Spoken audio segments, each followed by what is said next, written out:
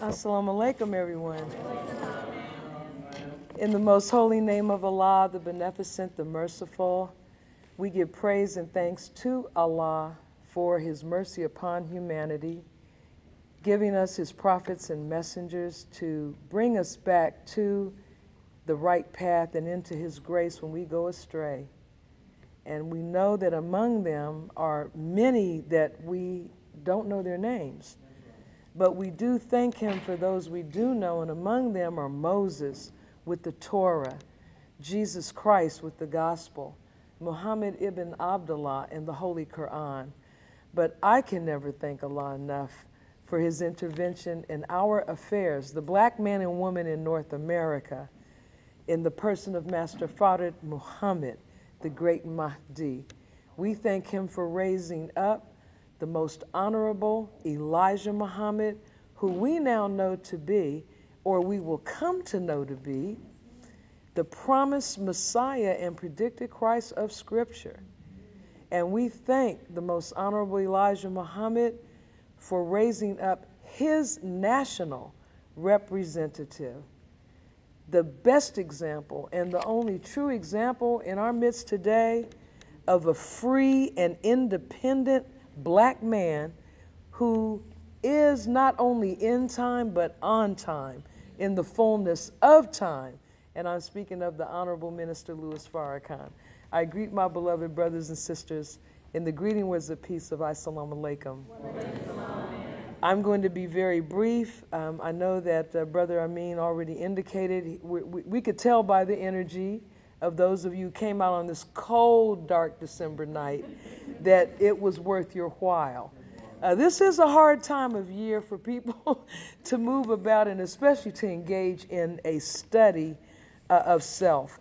And uh, just wanted to share with you briefly, I sat in Brother Billy Muhammad's circle and there was a very intriguing discussion on Satan and the conversation that he had with Allah that Minister Farrakhan referenced uh, in the press conference. And it was interesting that when he got to that segment of his message, he specifically spoke to the Muslims. He said, You who are Muslim.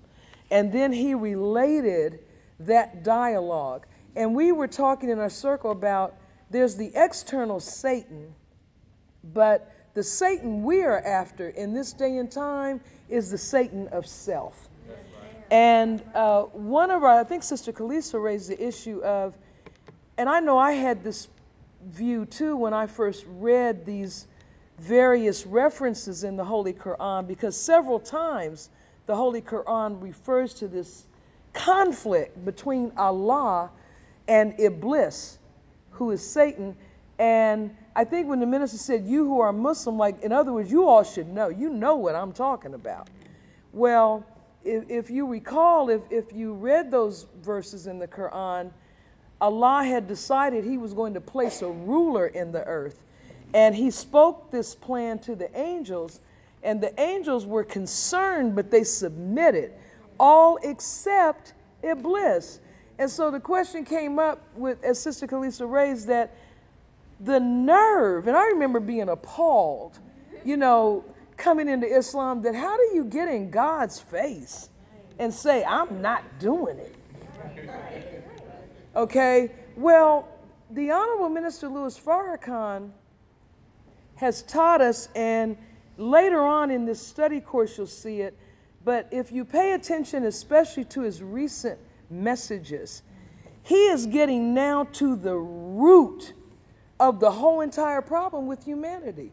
And removing, or Allah and Christ are removing through Him and the messages to us that final impediment in the quest for perfection.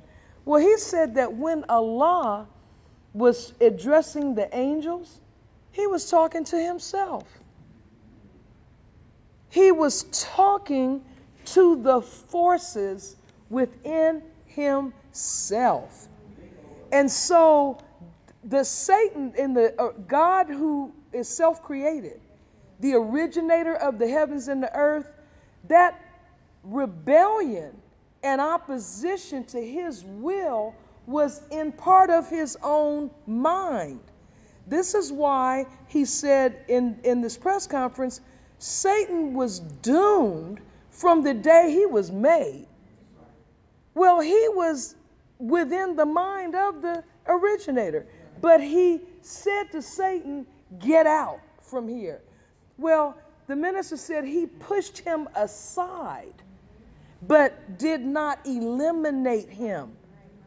And his presence, or the presence of a rebellious mind, which persists today, is what has to be uprooted in order for perfection to be achieved in Allah's universe. And Master Fard Muhammad, his coming, signals the removal of that impediment, which is the rebellion in our own mind. So if I hear we're trying to raise $10 million to say thank you, Minister Farrakhan, here's a symbol of our gratitude to you for laying down your life and giving us life. We're just going to give you a little symbol, a little token of our appreciation.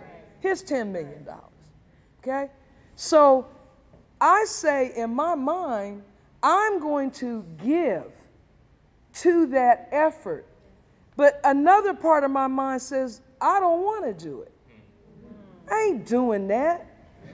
I already do this or I've done that or I'm not happy with the way, way things are. That's the opposition. So Allah, as we learned in study guide 3, he creates us to face difficulty. He creates us to overcome opposition. The minister wrote in the study guide, every prophet, every messenger, there's never been one who did not face severe opposition. So when you come up and think about in life, every time you come up and say, Well, I'm going to do, I'm, I'm going to get a new house, you can't do that. If you try to do that, you ain't got the money to do that. Or your husband or your wife or your children or your neighbor, so they're gonna they're gonna talk about you. They're gonna oppose you. See, I am not bowing. And so when you purpose to do it and say, I'm doing it anyway, what does the Satan of self say? I'm going to lie in the straight path. Getting right in your way.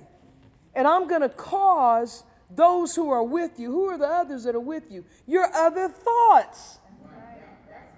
So the minister says, until we unite our own thoughts within our mind, then we are immobilized. So some of those things come up fear, greed, envy, uh, vanity. See, these are the things he spoke of previously. So I just wanted to, to uh, share that. And remember in the study guide, self is defined as the uniting principle. See, accept your own and be yourself, possessive yourself, your uniting principle. That which knows, that which desires, that which remembers and suffers, being the same throughout. That's to be yourself. When you and I are united, and that's when we have peace of mind, because we don't have some oppositional thought that's keeping us up at night and hammering at us. And then I'm getting up for prayer. Go ahead, I ain't. I'm tired. and I'll share a personal thought like that I have often. I'm going to fast. Go ahead. I'm eating this ice cream and I'm eating it tonight.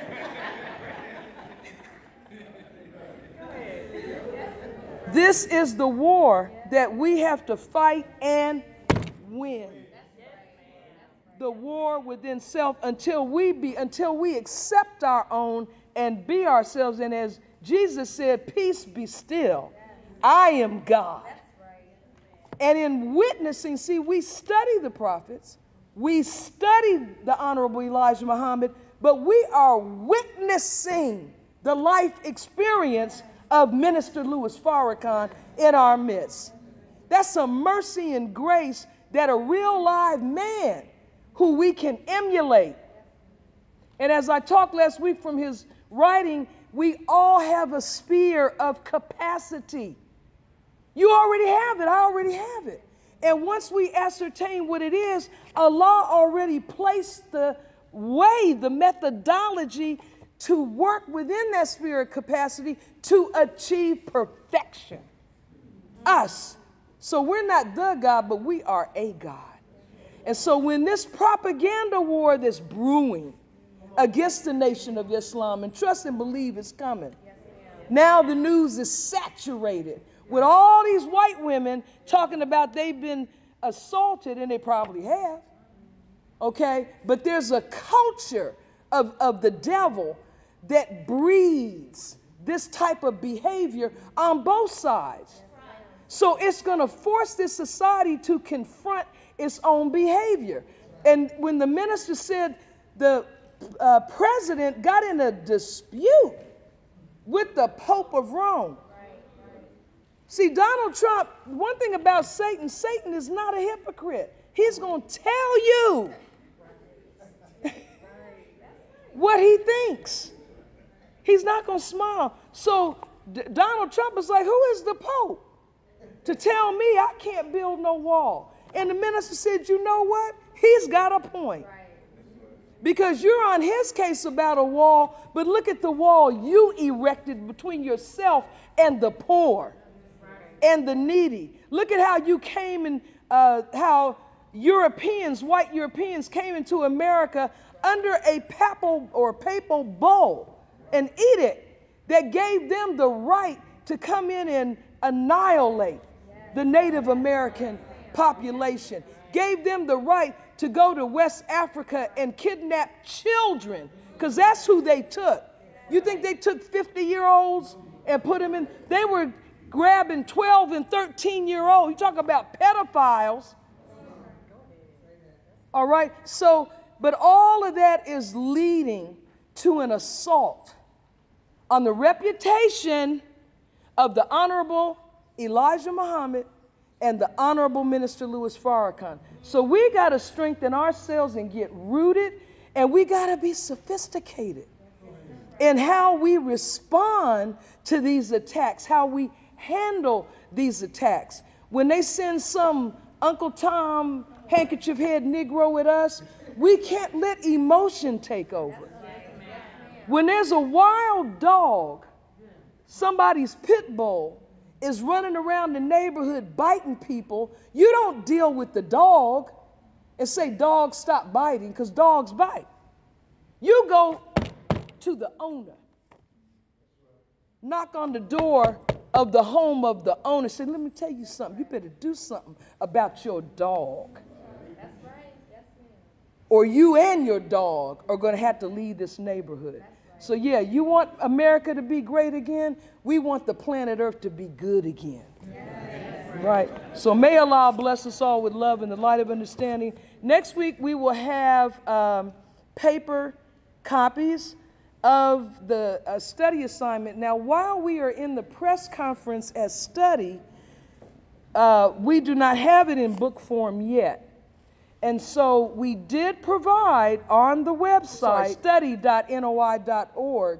we have the full transcript of the press conference. And if you see Brother Troy after the meeting and get on the email list, um, then you will get this every week. But you should also visit the website, and then you can get every tool as well as reading material, references, and of course, the minister's press conference is on YouTube, it's on NOI.org, it's available for us to watch. It's outside, you can get it out there when you leave here. So do not uh, be found unaware of the content of the November 16th message to the United States government, the people of the United States, and black people. So may Allah bless us all.